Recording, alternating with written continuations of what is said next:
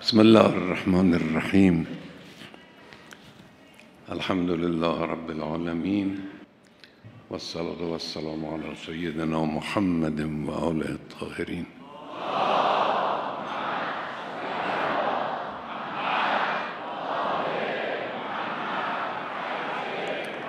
سیما بقیت الله فی الارضین خیلی خوش آمدید.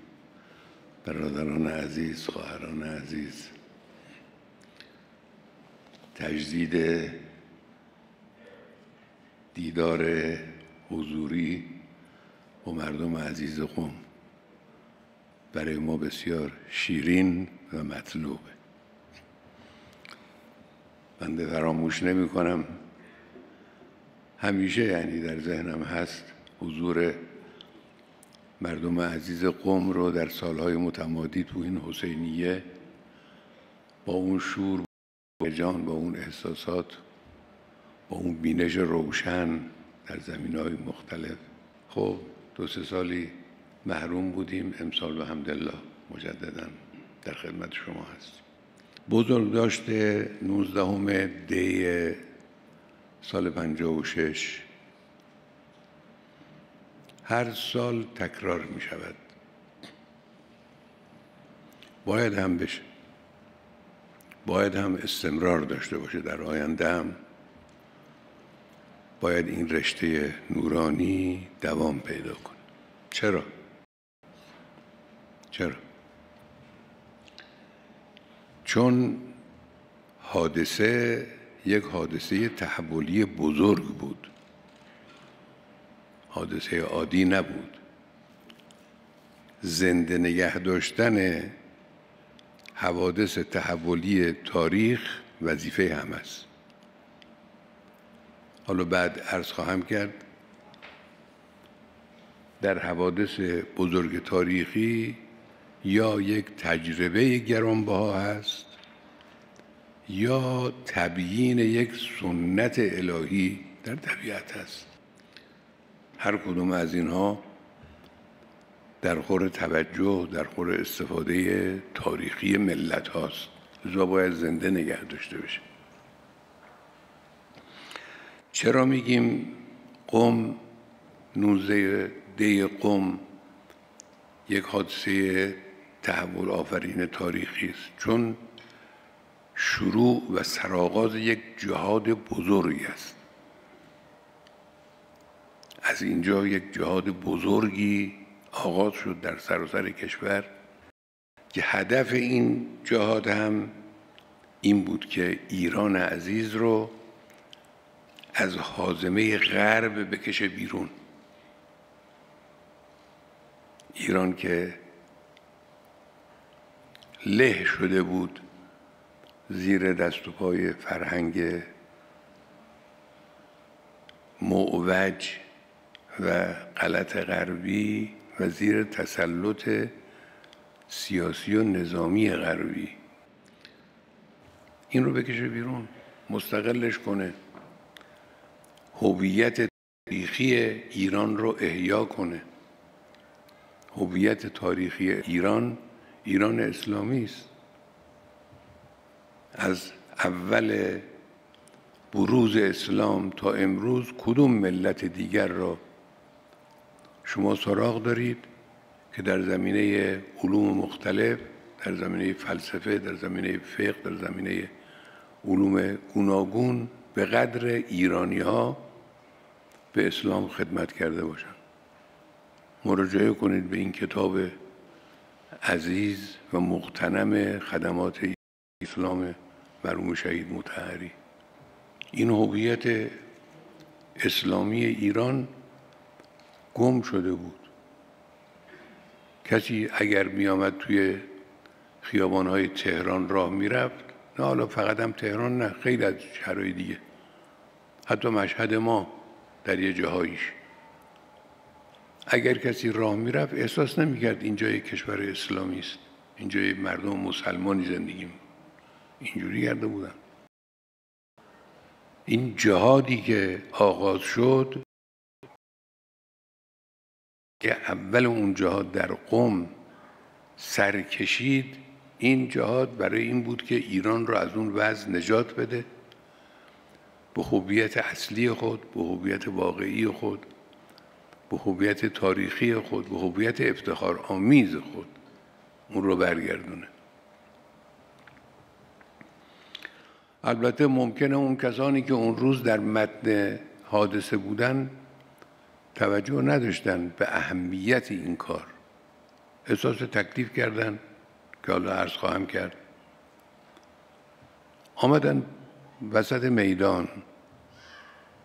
توجه شاید نداشتن لاقل همهشون توجه نداشتن که چه کار دارن می‌کنن چه حرکت عظیمی رو دارن رقم می‌زنند. اونا نمی‌دونستن اما قضایای تاریخی رو حوادث تاریخی رو اگر بخوایم تعریف کنیم باید با نگاه بگذشته و آینده اون تعریف کنیم. حادثه قوم از چی به وجود آمد و چه دنباله هایی داشت؟ این نشان میده اهمیت حادثه رو و میزان و قدر و قیمت این قضیه رو.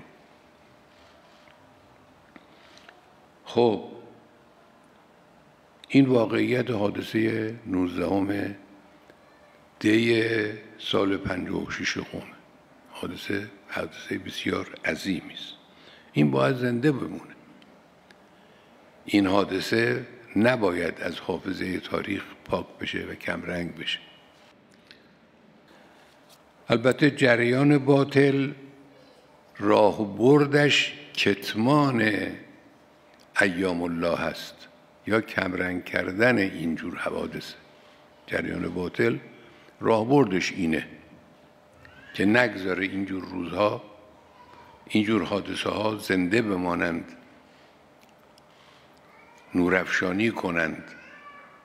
از نظر جبهه باطل این ایام غالبا کتمان میشن یا انکار میشن. حتی به انکار هم می‌رسه. روز 22 بهمن کتمان میشه. روز 13 آبان روز 19 دی روز 9 دی روز 29 بهمن قضیه تبریز. روز تشییع شهید سلیمانی روز تشییع شهید حججی. اینا همه ایام الله هم اینها رو می‌خوان کتمان کنن. اینا هر کدوم یه مشعلی هستن که از نظر جریان باطل باید خاموش بشن. این مشعل ها رو بر نمیتابه جریان باطلی که در مقابل شما در مقابل این ملت در مقابل این انقلاب قرار داره. اینا رو باید نابود کنه مشعل ها رو خاموش کنه. این درست نقطه مقابل قرآنه. قرآن ما رو به یاد و ذکر این گونه حوادث امر می‌کنه. وذکر فی الکتاب مریم اذ انتبذت من اهلها مکان شرقی نباید حادثه مهم مریم فراموش نباید بشه. این باید بمونه در تاریخ. وذکر فی الکتاب ابراهیم وذکر فی الکتاب موسی وذکر فی الکتاب ایوب وذکر فی الکتاب داوود زلعید وذکر اخا عاد از انذر قومه بالاحقاف شاید ده مورد یا بیشتر در قرآن اینجوری داره وذکر وذکر یه جاهایی هم که کتمان می‌کردن پیغمبر خدا معمور می‌شود از زبان اینها بکشه بیرون. واسألهم عن القریه التي کانت حاضرت البحر. ازشون بپرس. مخفی می‌کنید؟ قضیه روز سبت را؟ قضیه اون تقلبی که با خدا می‌خواستید انجام بدید. سر خدا رو کلاه بگذارید. خدای متعال شما رو به قرده و خنازیر تبدیل کرد. می‌خواد یادمون بره. ندونیم؟ بپرس ازشون. وسألهم عن القریه التي حاضرت البر ازشون جواب بگیر. این منطق قرآن خب حالا این حوادث همونطور که عرض کردیم یا متضمن یک تجربه تاریخی است که خب اگر چنانچه شما با خدا از سر مکر و حیله وارد شدید خدای متعال والله خیر الماکرین. خدا از شما انهم یکیدون کیدا و اکید و کیدا خیلی وارد میدان خدا میشی. خدا مالک الملک است. این یه تجربه که در زندگی تاریخی بشر اتفاق افتاده. من آدم زنده تو این دوران باید اینو بدونم. باید بفهمم. اون تجربه رو که اصحاب سبت بر سرشون آمد من نباید دیگه تکرار کنم. باید بدونم. یا متضمن یک سنت الهی است. یک سنت الهی است. وقتی که کسانی قیامت رو منکر میشن قضیه اصحاب کف پیش میاد. خدای متعال افرادی رو 300 سال میخوابونه 300 و اندی بعد بیدار می‌کنه نشون میده. ببینید اینجوریه. یا قضایای متعدد دیگری که در قرآن زیاد است. تدبر در قرآن ما رو به خیلی از این حقایق میرسانه. این چیزایی که چراغ راه ما می‌توانه قرار بگیره در این دوره زندگیمون. ما بالاخره اولی داریم و آخری داریم. تو این مدت باید تلاش کنیم کار کنیم. اتفاقا دوره ما دوره حساس و مهمی هم هست. این دوره‌ای که من و شما داریم دوش زندگی می‌کنیم. شما جوان ها به خصوص خیلی اهمیت بدید به این دوره. این دوره دوره حساس و مهمی است از این سنت های الهی خیلی باید بهره ببرید. خب پس اهمیت حادثه اینه. خود حادثه نوزه دی هم توش درس هایی هست. بنده غالبا به بعضی از این حوادث توی این مذاکرات صحبت مردم عزیز قوم داشتم. یه اشاره به بعضی کردم. اما یه نگاه جامع اگر کسی بکنه به این حادثه خیلی حادثه عجیبی است. متضمن درس است این حادثه. قضیه اینجوری شروع میشه که خب اینا رو می‌دونید دیگه اینا همه این چیزها رو همه می‌دونن. یه مقاله سخیفی به دستور خود دربار یعنی به دستور اون بالا بالایی های رژیم تاغوت کار این وسطی ها و این پایینی ها نبود از اون بالا. علیه امام و متضمن اهانت به امام بزرگوار که حالا تبعید بود و در نجف بود و تازه هم فرزندش به شهادت رسیده بود از دنیا رفته بود چاپ مردم هم دردی کردن. با امام بزرگوار به خاطر درگذشت این فرزند محترم و معزز واقعا حاج آقا مصطفی واقعا آدم برجسته ای بود. اینها دیدن باید یه کاری بکنن. بیعقلی کردن. به دست خودشون برای خودشون. مشکل درست کردن. فعتاهم الله من حیث لم یحتسبوا از جایی که گمان نمی‌کردن سیلی رو خوردن. آمدن این مقاله رو منتشر کرد. خب حالا مقاله منتشر شد. معمولا ساعت یک دو بعد از ظهر این روزنامه چاپ می‌شد از تهران تا برسه به قوم مثلا یه ساعت هم طول می‌کشید تا برسه به قوم دو ساعت هم طول می‌کشید تا برسه. این مالکه روز هیفته دی. به مجرد اینکه این روزنامه رسید قوم مردم نگاه کردن دیدن یه چنین چیزیه یه عده آمدن بیرون. یعنی این شروع قضیه از 17 دیه سریع اکتر عمل نشون داد. آمدن بیرون تو خیابون. تعدادی از شماره های این روزنامه رو گرفتن آتیش زدن اظهار نفرت کردن چه کردن؟ این روز 17 همه صبح 18 هم نوبت طلبه هاست درز و بحث رو تعطیل کردن آمدن توی خیابان به طرف منزل مراجع به صورت دست جمعی. تا شب حرکت طلاب طول کشید و بارها در این یک روز درگیری و برخورد با نظامی های رژیم و معمورین رژیم رخ داد.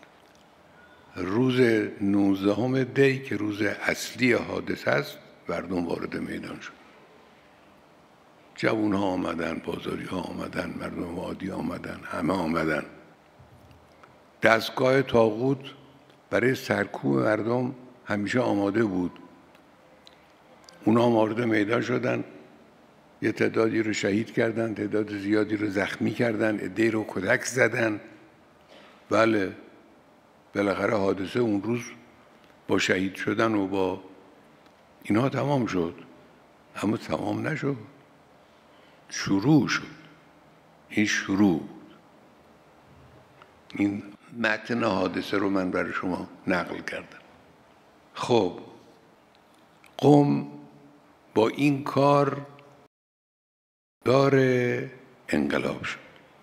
قوم مفتخره به این است که اولین پرچم برافراشته عملی انقلاب رو بر دوش کشیده.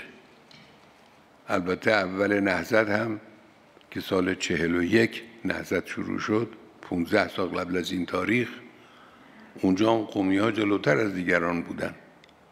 لکن اون وقت هنوز مسئله اونچنان پخته و سنجیده و به نهایت رسیده نبود. یا دیگه شروع انقلاب حرکت بزرگ انقلاب قومی ها پرچمدار شدن. پیشتاز شدند. چون مؤمن بودند چون برای خدا وارد شدند. اگر برای خدا نباشه انسان چطور سینه در مقابل گلوله نگه میداره؟ مگر بدون اعتقاد به حقیقت وجود باری تعالی و حق باری تعالی ممکنه کسی اینجور خودشو در مقابل خطر به این بزرگی قرار بده. چون مؤمن بودن چون ایمان به خدا داشتن خدا به کارشون برکت داد. این کار ظرف یک روز دو روز سه روز همطور که عرض کردم شروع شد و به ظاهر تمام شد اما تمام نشد. کشور رو مشتعل کرد. اول قم تبریز بعد کجا بعد کجا بعد کجا. خب حالا چند تا کار چند تا نکته در این حرکت وجود داره که من می‌خوام این دو تا سه چهار تا نکته رو عرض بکنم. اول که اینا درسه برای ما. ببینید اینا ما در دوران عجیبی زندگی می‌کنیم دیگه. یعنی ما امروز ملت ایران و جمهوری اسلامی نسبت به اون روزهای اول حالا صد برابر کسی نمی‌تونه به طور دقیق محاسبه کنه. و واقعا مبالغه نیست که بگیم صدها برابر ما امروز پیشرفته تر قوی تر آگاهتر پربینشتر مسلطتر بر امور ما ملت ایران. ما که میگم یعنی ملت ایران. نسبت به اون روزها هستن. حوادث دنیا هم امروز با اون روز خیلی فرق داره. حوادث عجیبی در دنیا حاکمه. چیزایی که باور کردنی نبود امروز تحقق داره پیدا می‌کنه. در دنیای غرب در دنیای شرق. منتها شرق عالم منتها غرب عالم. نیمکره شمالی نیمکره. همه اصلا یه اوضاع عجیبی است دنیا دیگه می‌بینید. از این تجربه ها باید استفاده کنیم. تجربه اون روز این تجربه ها کهنه نمیشه. یکی سرعت عمله نکته اول سرعت عمل. زود احساس تکلیف کردن. ما گاهی اوقات مشکلمون اینه که تکلیف رو زود تشخیص نمیدیم. باید بیان بشینن با اون حرف بزنن استدلال کنن چه کنن؟ وقت میگذره. سرعت عمل مردم در احساس تکلیف. وقتی نگاه کردن دیدن که خب اینجور داره حرکت میشه با چیکار کنن؟ آمدن مهم مردم عادی آمدن دکاندار آمد بازاری آمد طلبه آمد فضلا آمدن بزرگانی از حوزه وارد شدن. مردم معمولی عادی آمدن توی میدان. به سرعت احساس تکلیف کردن. این یک.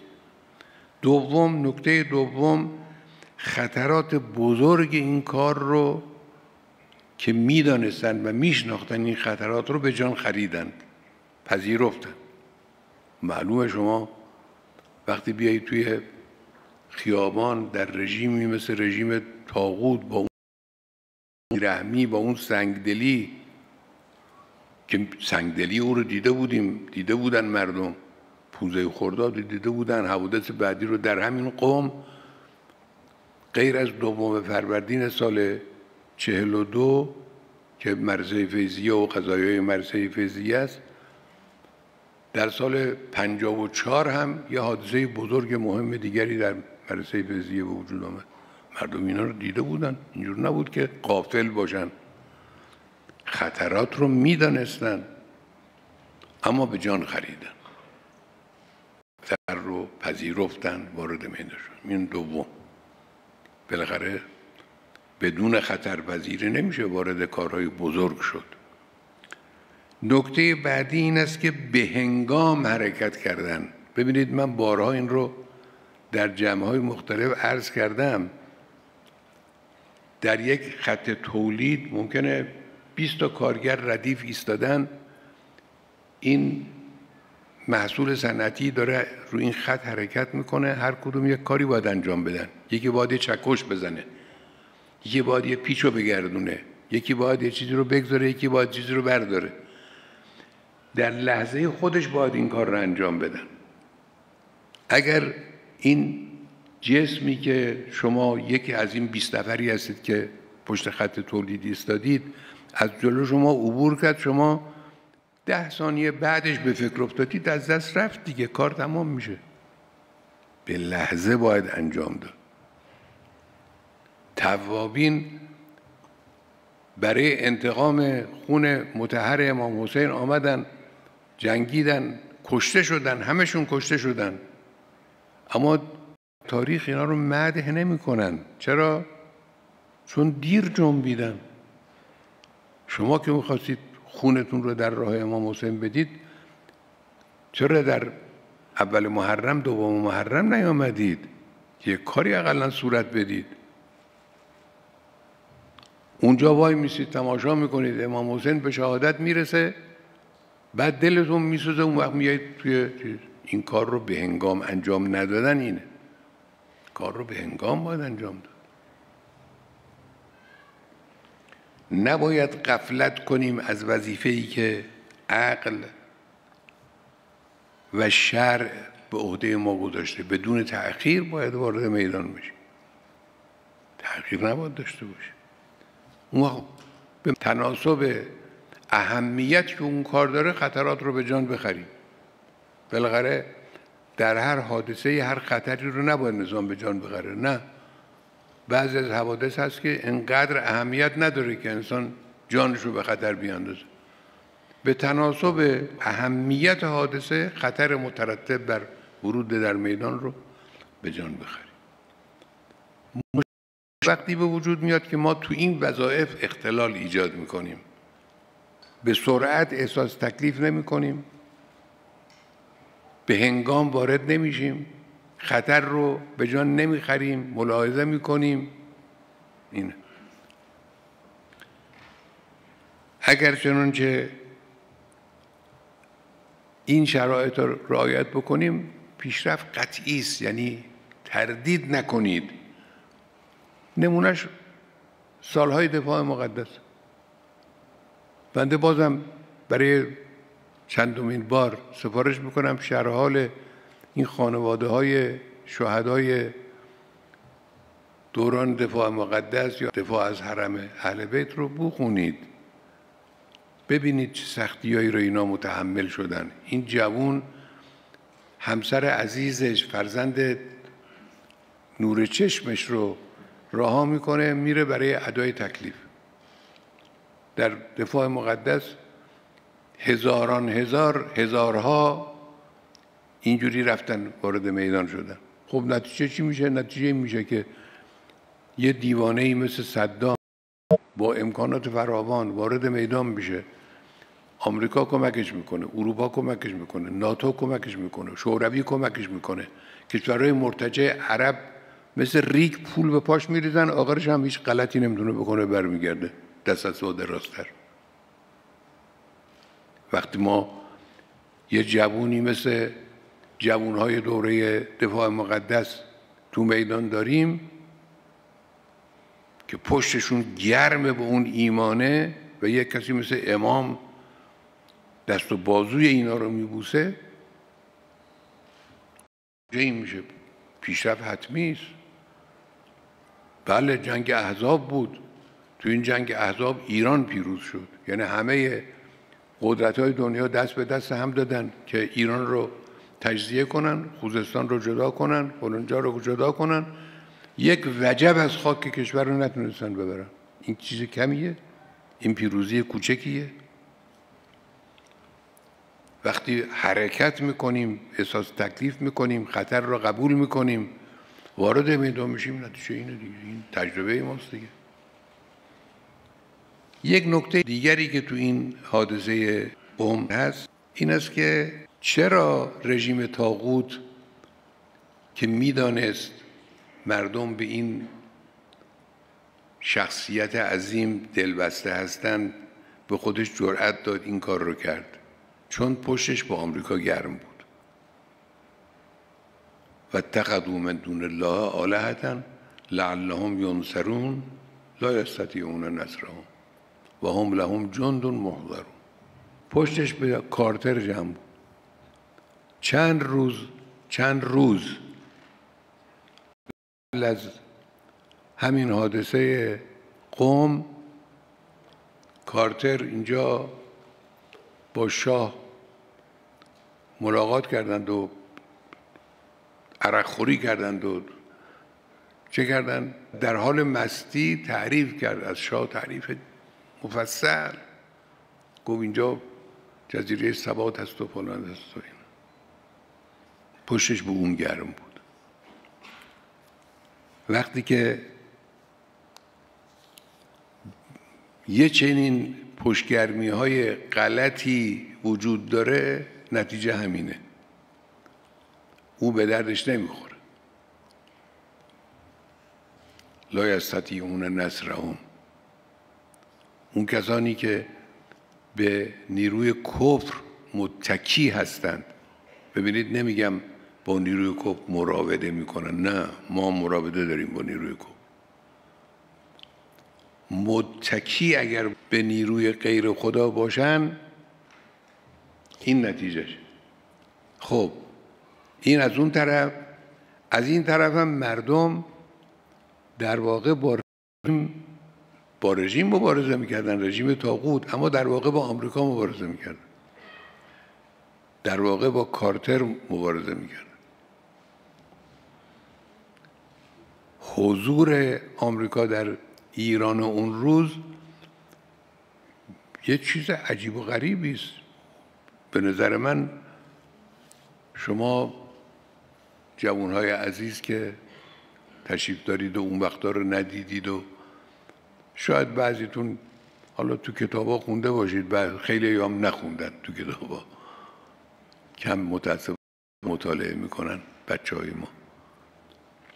نمی‌دونن مقدار نفوذ چقدر بود. آمریکا مسلط بر همه اوضاع کشور. ببینید سال 43 14 سال قبل از حوادث 13 سال قبل از حادثه نوزیده و 14 سال قبل از پیروزی انقلاب امام رو تبعید کردن از قوم. چرا تبعید کردن امام رو؟ امام یه نطقی کرده بود. در این نطق مگه امام چی گفته بود؟ امام در این نطق علیه کاپتولاسیون یعنی مسئولیت آمریکایی ها در ایران صحبت کرده بود. با آمریکا حمله کرده بود. در اون نطق امام میفرمایند مضمون فرمایش ایشون اینه که اگر چنانچه شاه ایران یک سگ آمریکایی را تو خیابان زیر بگیره باید مؤاخذه بشه. اما اگر چنانچه یه آشپز آمریکایی شاه ایران را تو خیابون زیر بگیره کسی حق نداره مؤاخذش کنه. کاپیتولاسیون اینه دیگه. امام به این حمله کرد. برای این داد کشید سر دستگاه ها وقت امام به خاطر این تبعید کردن. حالا تبعید امام 13 سال طول کشید اما تبعید مادام العمر بود. از نظر اونا تبعید تبعید مادام العمر بود. حالا خوشبختانه انقلاب پیروز شد. امام 13 سال بعد برگشتن داخل کشور. یعنی آمریکا نبوزش تا این حد بود در این کشور. خب مردم بر علیه چنین نفوذی قیام کردن بر علیه چنین قدرت متنفذی در کشور قیام کردن یک نکته دیگر هم من عرض بکنم در مورد این حادثه قوم. و اون این است که چه در این حادثه چه در جریانی که در دنباله این حادثه رخ داد و پیش آمد افراد یا گروه های جریان های پرمدعا و بیریشه نتونستن نفوذ کنن. این خیلی مطلب مهمی است مثل مشروطه نشد. مشروطه رو علما رو انداختن. برای رفع استبداد رو انداختن. افراد حالا معلوم الحال یا مجهول الحالی وارد میدان شدن. راه رو کچ کردن به طرف سفارت انگلیس. برای درخواستی که مال مردم عادی بود واسطه شد سفارت انگلیس. رفتن اونجا. آدمای ناباب وقتی وارد یه نهزت میشن میشه این. در نهزت و قوم چنین چیزی اتفاق نیفتاد. در جریانی که با این نهزت را افتاد این جریان همه اون کسانی که مخالف هم بودن مرعوب شدن. مرعوب مردم. مرعوب این حرکت عظیم. مرعوب اون نهیب های امام. نهیب امام. تو نجف بنشینه انسان توی مجلس درس طلبگی. اونچنان فریادی بزنه که دنیا رو بررزونه ما امام رو هم نشناختیم درست. امام. شخصیت امام. این حرکت حرکتی بود که دیگران نتوانستند واردش بشن. مرعوبش شدن. حتی اونایی که مخالف بودن تو ایران کمونیستا بودن افراد گوناگون بودن که دلشون با این نهضت با این حرکت نبود. نه جرأت می‌کردن مخالفت کنن نه جرأت می‌کردن واردش بشن چون حرکت مردم حرکت عظیمی بود. اینا که من عرض می‌کنم اینا رو تجربه های شخصی از نزدیک بنده است که از نزدیک اون که دیدم اون که می‌دونم عرض می‌کنم بهشون خب حالا چرا نتوانستن نفوذ کنن؟ اینم یه نکته خودش مهم نیست. چرا نتونستن جریان های دیگه وارد بشن اخلال کنن نفوذ کنن؟ علت این بود که سردمدار این حرکت در رأس این حرکت شخصیت های دینی بودن. شخصیت های دینی. با جرأت وارد میدان شدن شخصیت های دینی. در همه شهرها در تهران در قوم در جاهای دیگه. علمای بزرگ. در مشهد ما همینطور شخصیت های موجه دینی وارد میدان شدن. اینا شدن پرچم. اینا شدن پرچم. در شهرهای مختلف ما اینها رو دیدیم. یه ادم که تبعیدی بودن اینجا اونجا از علما اینا هم هر جا که تبعید بودن اونجا رو همراه کردن با خودشون با حرفای خودشون با دلها رو همه متوجه خودشون کرد بالاخره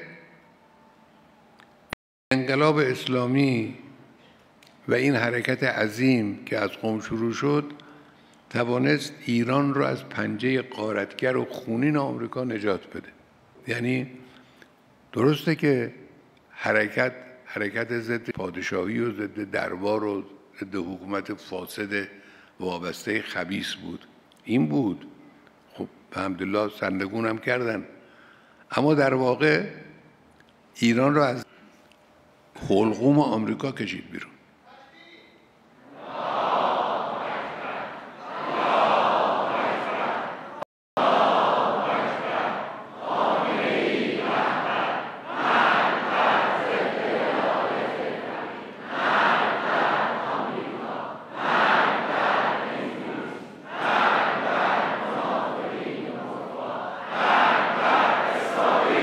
مقصودی دارم من از بیان این حرف. ایران رو از زیر پنجه آمریکا خارج کرد. این شد پایه و اساس دشمنی آمریکا با ایران.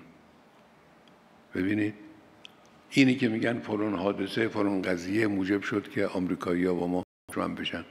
بعضی هم حالا بعد از چل سال میگن چرا آمریکایی ها رو با خودتون دشمن می‌کنید؟ ما داریم دشمن می‌کنیم. چل ساله داره به خون ما تشنه است.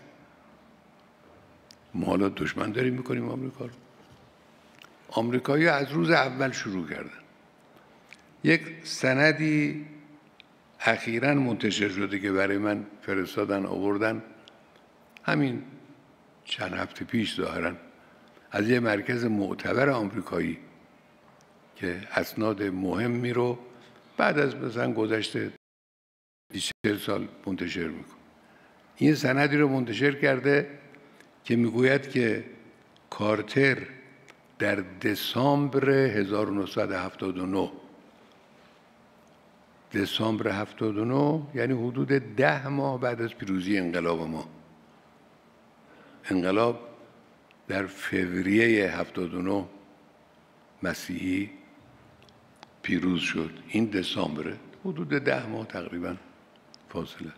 ده ماه بعد از پیروزی انقلاب یک دستوری میده کارتر به سازمان سیاه. دستور این است که جمهوری اسلامی ایران رو سرنگون کنید این مال اون روزه. یعنی همون اول انقلاب اوائل انقلاب رئیس جمهور آمریکا دستور سرنگونی جمهوری اسلامی ایران رو با خواب آشفته ای که لابد دیده به سازمان سیاه صادر اون وقت نکته جالب توجه اینه به چه وسیله ساقط کنید؟ ذکر می‌کنه. اولین نقطه ای که ذکر می‌کنه تبلیغاته پروپاگاندا. میگه با پروپاگاندا تبلیغ کنید علیه جمهوری اسلامی. به نظرتون آشنا نیست این سیاست؟ تبلیغ علیه جمهوری اسلامی. تبلیغ در دنیا تبلیغ در افکار عمومی تبلیغ در داخل داخل کشور. این کاری بوده که اون روز شروع کردن تبلیغات. البته خب فقط تبلیغات نبود. تحریم هم بود جاسوسی هم بود نفوذ هم بود. زمین سازی برای کودتای نظامی هم بود از این چیزا هم بود. اما اول تبلیغات رو اسم میاره. میگه با تبلیغات. این تا امروز ادامه داره.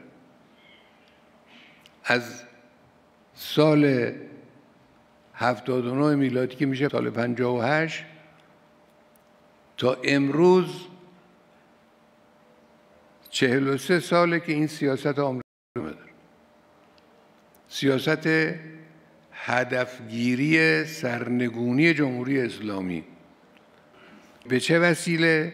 به وسیله تحریم به وسیله نفوذ به وسیله فشار حد اکثری به وسیله ایجاد اتحادهای ضد ایرانی به ایران ستیزی اسلام ستیزی شیعه ستیزی به این وسیله ها و در رأسش تبلیغات به وسیله تبلیغات.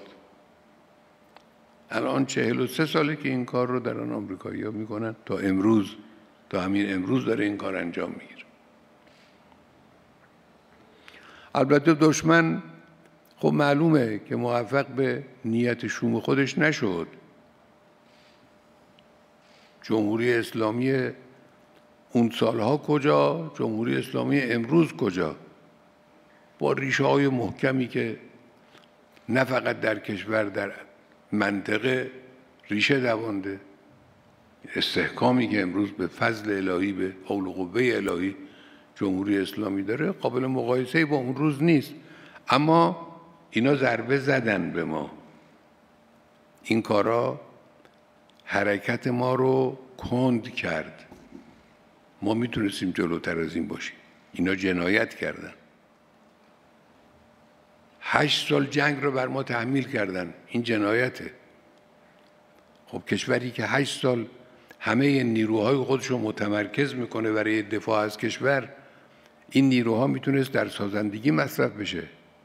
می‌توانست کشور رو پیش ببره. می‌توانست فقر رو ریشه کنه. فقط جنگ تحمیلی نیست فشار هست تحریم هست اینا همه موثره.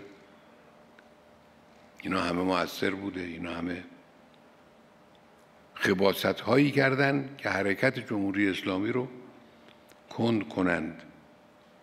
خب حالا ما البته میشه جبران کنیم این کندی رو؟ بله. من دقیقه که می‌تونیم. ما باید بیشتر کار کنیم بهتر مدیریت کنیم. مجاهدت خستگی ناپذیر. این راهش می‌تونیم جبران کنیم. اینجور نیست که نشه جبران کرد. کما اینکه در یه بخش های به توفیق الهی همین کارا شده. در بخش های علم شده در بخش های دفاعی شده در خیلی از بخش های تولیدی شده این کارا. حالا شرح کارهایی که انجام گرفته به برکت کار جهادی به برکت ایمان و اعتقاد کارکنان به برکت شبان روز نشناختن شب و روز نشناختن به شبان روزی کار کردن کارهای بزرگی انجام گرفته. در همه بخش باید این کار انجام بگیر می توانیم خب من یه اشاره به اختشاش های اخیر بکنم.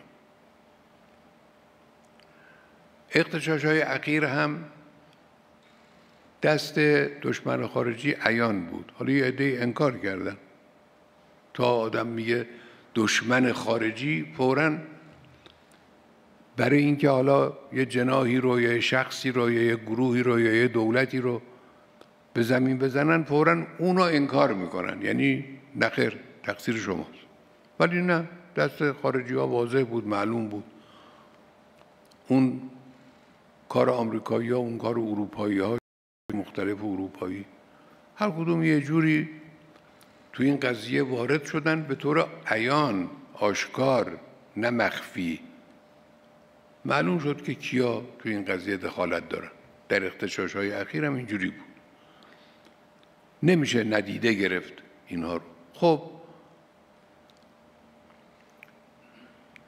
اینجا هم مهمترین بخش کار تبلیغات بود. اینجا هم مهمترین بخش حرکت دشمن مسئله تبلیغات بود. من شر الخناس الذي يوسوس في صدور الناس من الجنة و الناس. وسواس فقط مال جن نیست ناس هم وسوسه می‌کنه وسواس می‌کنه وسواس. فضای مجازی رو دیدید. رسانه های خارجی رو از غربی و عربی و عبری و امثال اینها ملاحظه کردید دیگه.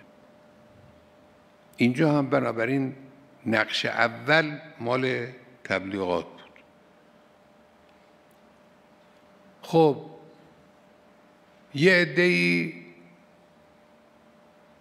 اینجور می‌خواستن وانمود بکنن و خارجی ها تو تبلیغاتشون اینجور وانمود می‌کردن که این اختشاشاتی که حالا یه عده تعدادی میان تو خیابون ها و فریاد می‌کشن و پشت میدن و یه جایی رو به شیشه رو میشکنند و یه سطل زباله رو آتیش می‌زنند فلان.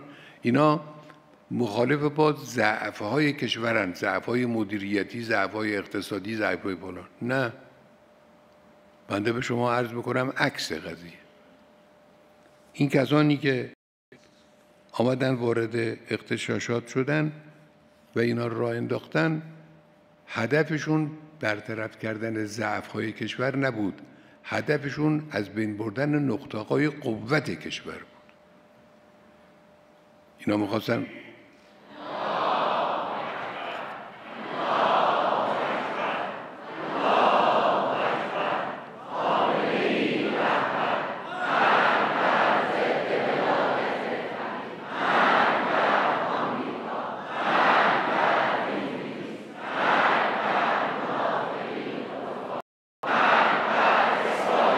اینا می‌خواستن نقاط قوت ما رو از بین برن امنیت ما رو.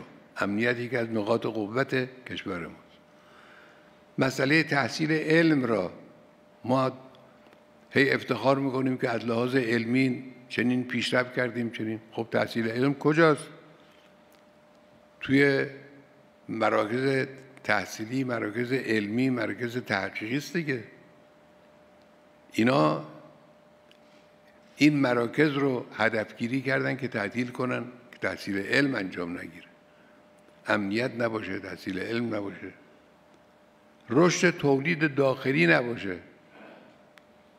ما امسال رو هم اول سال اعلان کردیم تولید. مثل سالهای دو سه سال قبل با یه شیوه خاصی و یک نگاه خاصی. تولید تو این امسال یه حرکت خوبی داشته.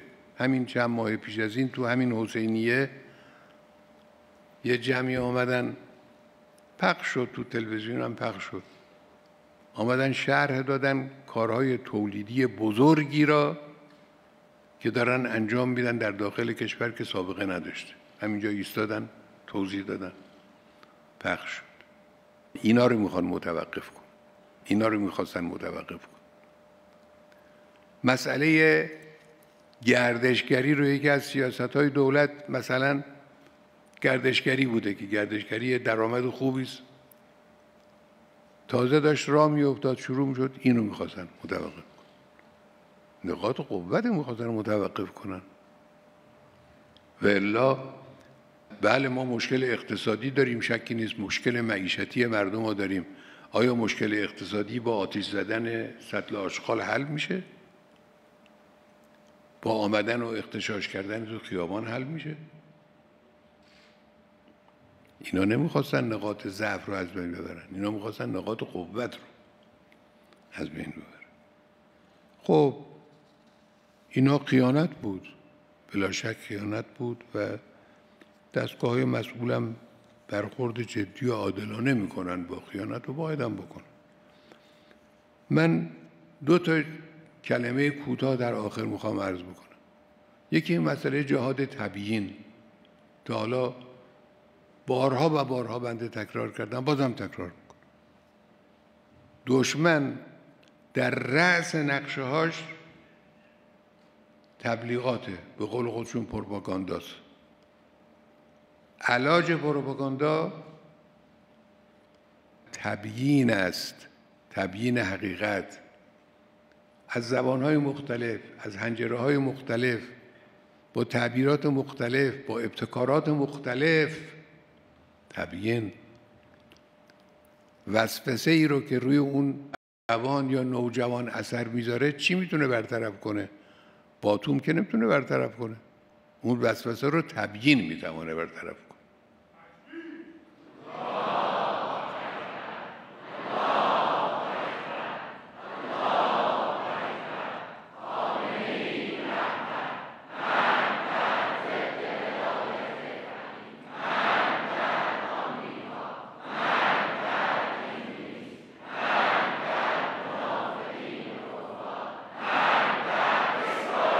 این مطلب اول که این از دو نکته یه نکته اینه.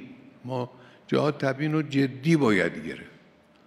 همه در حوزه در دانشگاه در صدا و سیما بالخصوص در مطبوعات در همه نقاطی که هر جایی که شما ایستادید که یک شعاع پیرامونی دارید می‌تونید رو اون اثر بگذارید. باید تبیین انجام بگیره. تبیین درست. تبیین صحیح. این یک. دوم اینکه هدفهای بزرگ محتاج کارهای بزرگه. باید کارهای بزرگ انجام بگیره کارهای تحولی انجام بگیره. به نظر من می‌توانه انجام بگیره. مسئولین مؤمنی وجود دارن مسئولین پرکار و پلتراشی وجود دارن. می‌توانه کارهای تحولی انجام بگیره. خود انقلاب بزرگترین تحول بود. کارهای مقدمات انقلاب هر کدوم یک کار تحولی بود. اینها بود که ما رو توانست از اون گردنه های سخت عبور بده. بعد از اینم چه در زمینه اقتصاد چه در زمینه فرهنگ چه در زمینه امنیت چه در زمینه های گوناگون زمینه علم. کارهای تحولی و بزرگ لازمه. به نظر من این کار ممکنه. آدمشو داریم. مسئولینشو داریم. کشور به حمدالله جوانهای خوبی داره. در همین دانشگاه ها و در بسیاری از حوزه های علمی در سراسر کشور و در بین مردم گوناگون طبقات گوناگون افرادی هستند که می توانند کار کنند کارهای مبتکرانه کارهای نوآورانه و کارهای تحولی. امیدواریم انشاءالله خداوند متعال همه شما رو شما و ما رو بر آنچه که وظیفمون هست موفق کنه. و السلام علیکم و رحمت الله و برکاته